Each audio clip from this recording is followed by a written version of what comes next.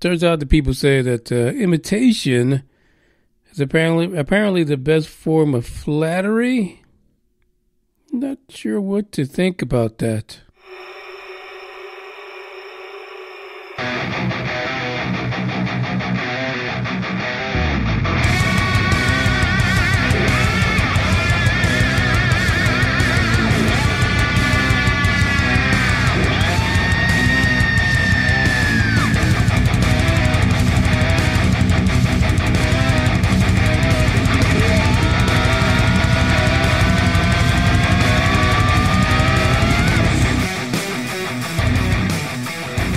The day after the Dark Horde episode one. Um, wow, I've seen a couple of channels that uh, usually don't do things related to the paranormal. Um, doing things on EVPs and ghost boxes. What an interesting topic it is. Not sure that I'm flattered. Not sure that I feel that the invitation is warranted. This is Manny Moonraker. This is episode number, I believe, 322 at the UFO Buster Radio News. We got three articles to talk about today, and uh, that's just the way it goes. Now, let's talk a little bit about the Dark Horde episode one. It really was a uh, kind of driving people towards what I favor when it comes to the paranormal. And I listen, I, I love ghost boxes. I just do not give two hoots for EVPs. I just, I don't know. Too much of trying to figure out what the heck it's being said and um, it makes things more difficult. I think. I think the uh, ghost boxes are a lot better, and that really is how it's going to go down for the Dark Horde in the spring.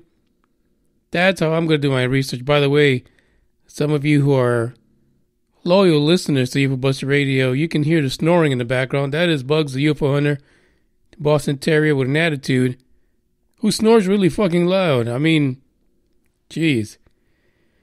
And he means it too. Have mercy. He really does. In between the farting and the snoring, the guy's unstoppable. So, one thing I did realize yesterday was that um, UFO Buster Radio Network is actually set up to have, uh, actually host different podcasts. So, the Dark Horde is actually under UFO Buster Radio Network, which means that if you uh, listen to UFO Buster Radio, on no matter what platform it is, you should also be able to hear the Dark Horde on the same platform. It'll just be titled differently. And of course, it does have its own address, but it all rolls up to the network. So this might be a win-win because uh, you guys don't have to wait. Next week on the Dark Horde, there's a story I came across a couple of days ago. Well, actually, there's two, one locally and one not so local. But geez Louise, come on, people. I mean, I mean, folks are so morbid. It is these kind of places that uh, you have these morbid happenings that you want to go visit and do some kind of uh, investigation. Geez, man, I just uh, we're really we're going we're going to get into the dark side of things on the Dark Horde starting next week. Uh, I, I, do got to say this: it is uh, somewhat uncomfortable, if you will, talking about this topic because Geez, today I just felt like someone was watching me all freaking day. Like always something, like in the dark, just standing behind me. It's been really freaky, and it's about to get worse. I don't know what the hell I'm going to do. I might only be able to do that podcast for like a year, you know, or six months for that matter, if I keep on being fucking paranoid. It's so freaking strange. That is one topic that really gets you at the core of who you are. Like fuck aliens. I mean, you're gonna get probed. Good, get it done with. But um, spirits, ghosts, and demons. Jeez Louise, it is, is something else.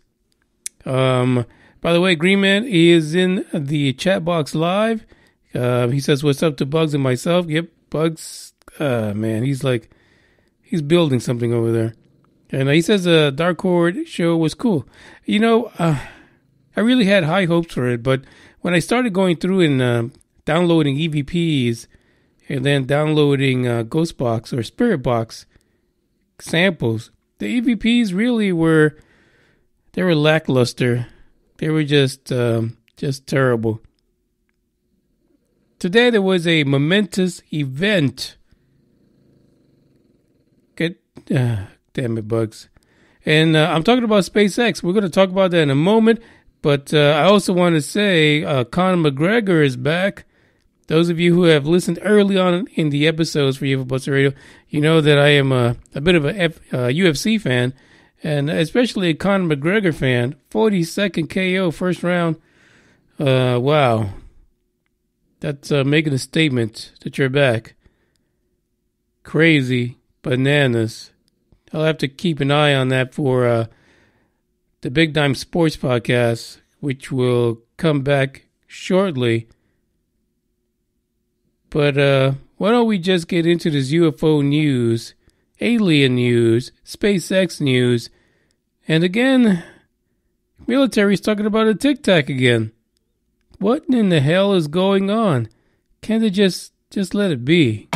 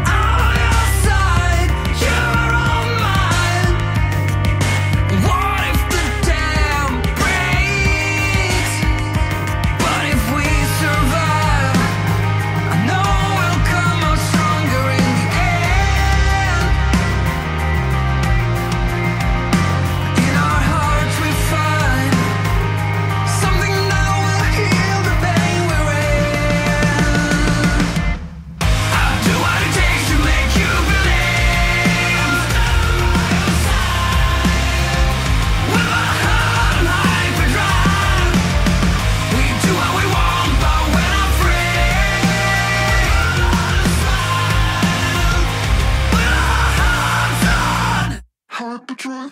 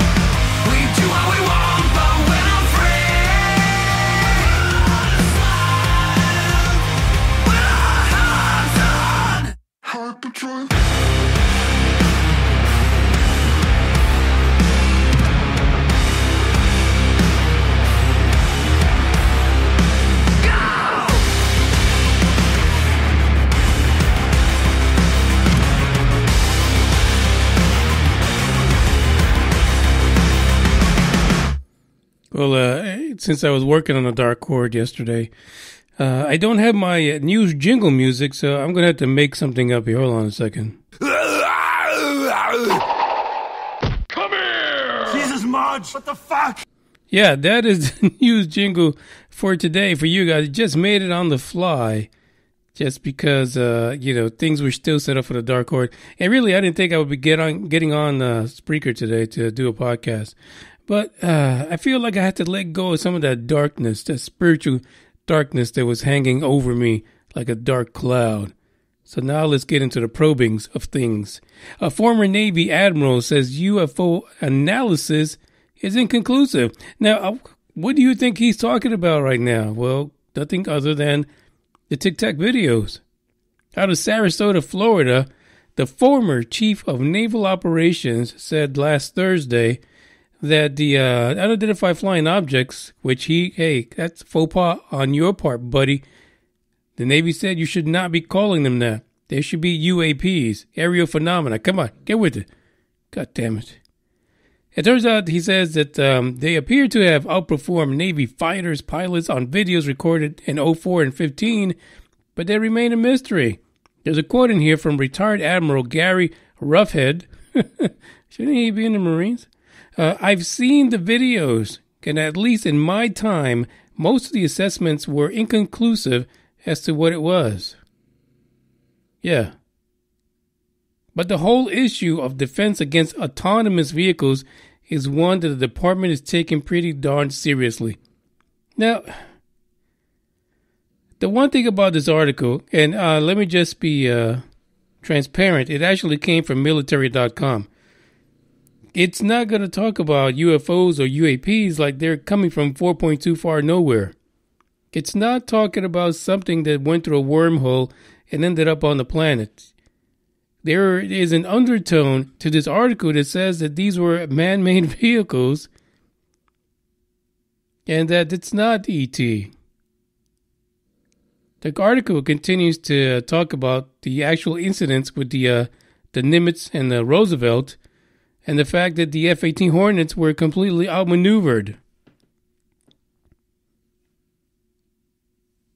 And it's good it's good. It's a good article because it takes folks back. So anyone that just happened to fall off a, you know, off the Humpty Dumpty wall and just happened to knock their heads and fall across this situation with the uh, Tic Tac, the Nimitz, and the Roosevelt, well, hey, you should have had a V8 because apparently you're not looking at the news. It's a weird thing how many people do not know about this incident, even though it was in uh, pretty much promoted and uh, talked about through all the national outlets when it comes to the news media.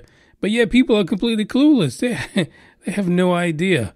Just like the other day, we covered that story about the uh, gentleman who had no idea that the Starlink satellites were wreaking havoc around the world as people are reporting UFOs. And he referred to them as a string of Christmas lights in the sky. That's what we're dealing with. Uh, there's another quote from uh, the retired admiral here, Mr. Roughead. He says, without knowing what we may be or what they may be, uh, are they phenomena? Are they vehicles that someone was able to get into place? I think one of the great challenges that more people looked at is where would have one come from? And quite frankly, I haven't spent a lot of time on the issue. The article is uh, also fascinating because he also takes time to point towards China and Russia. That is the, uh, I mean, that's the, the mindset of the military, right? You you take the the big players when it comes to uh, our little blue planet. You got to look at the ones who have who are the heavy hitters when it comes to, um, you know, having the military, uh, military power, superpower and the answer will always lead them to a terrestrial source.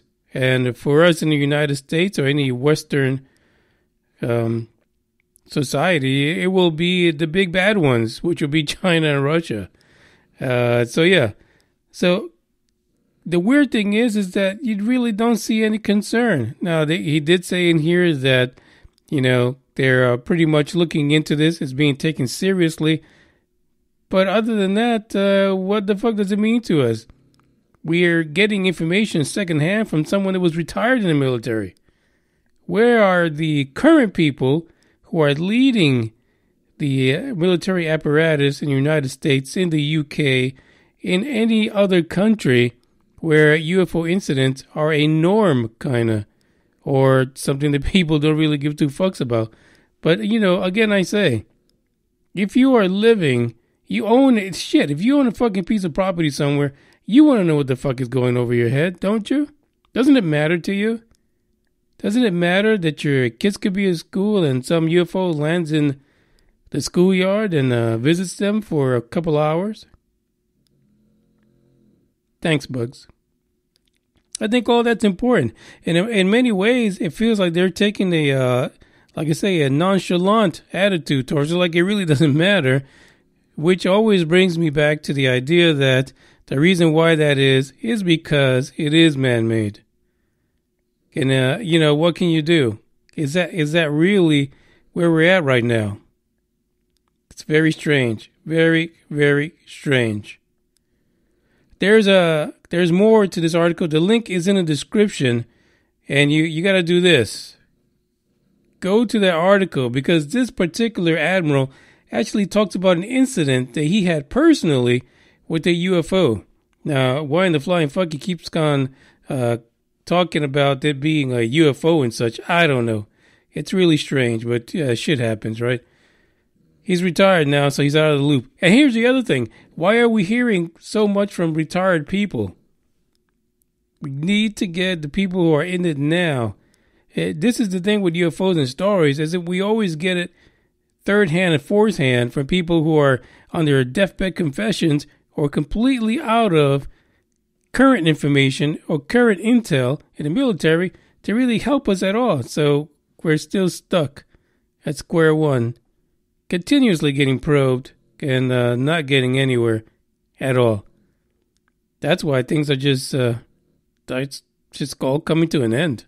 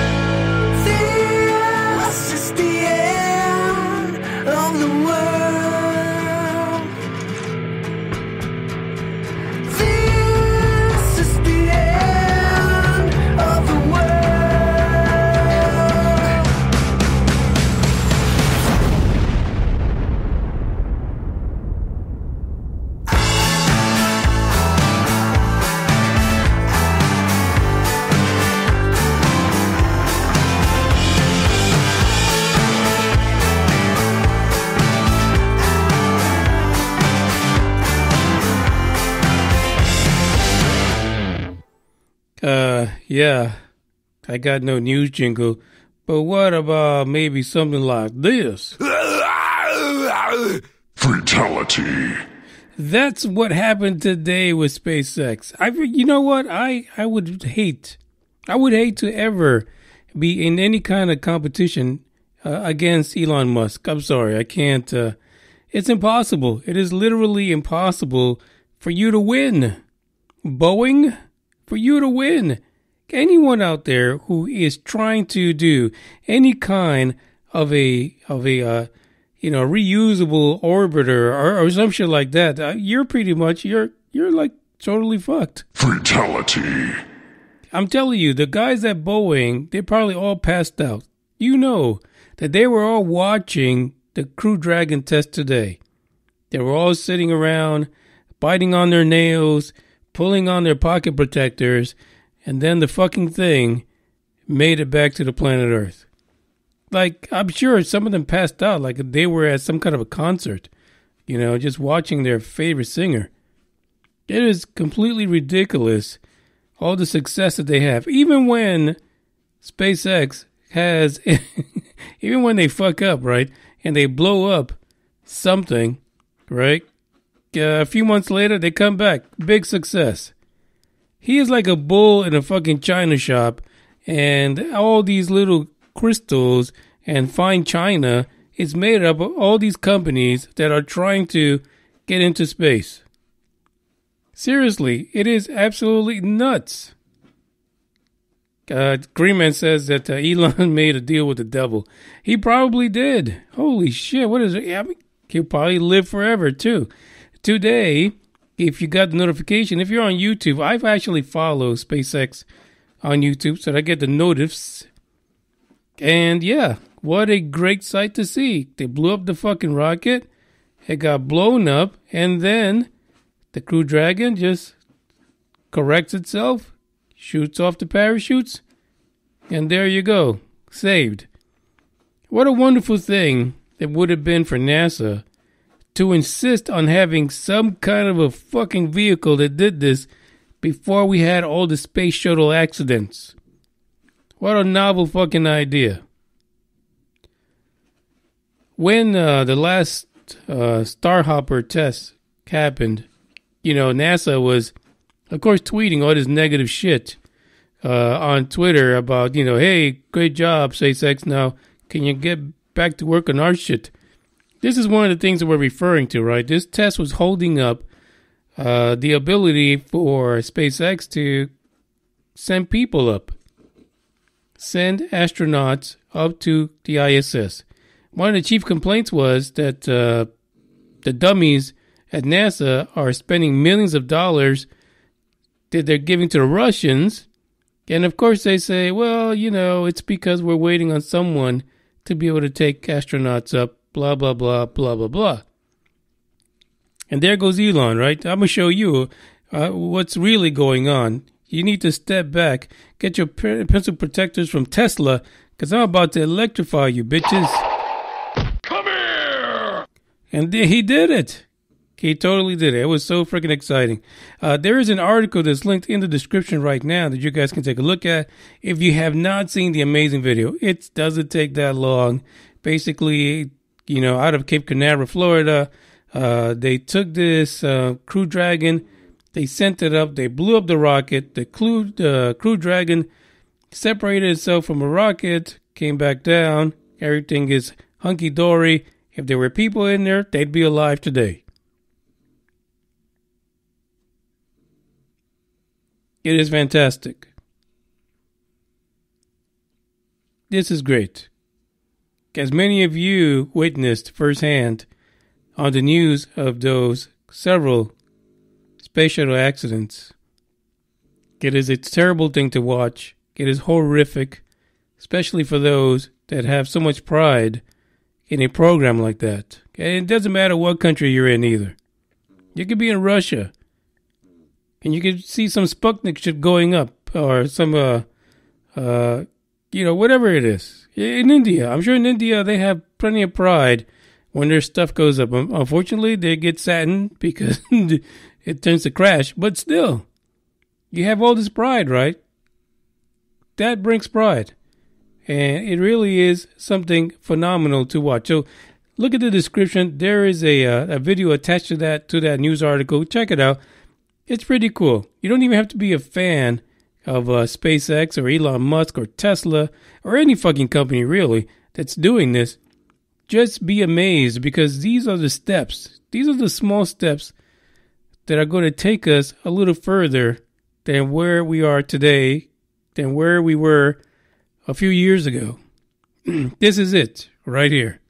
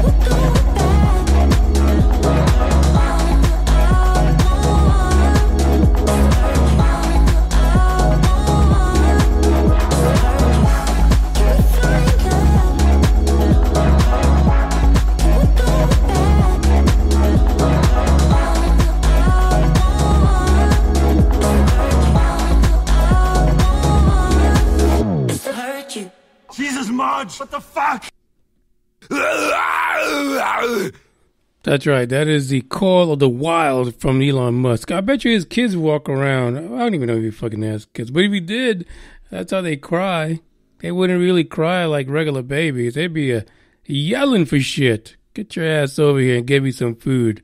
The next article has to do with uh, alien life and our inability to fucking find it. It is weird doing. it really is weird doing these articles where they're saying ET doesn't exist. And then we have people who are saying, I got probed, I got probed last week. Yeah, uh, there is, I don't know, there's such a disconnect with this. It's, uh, it's phenomenal. I think maybe that's what's pushing me over to the paranormal. Because I just, um, God, I don't know.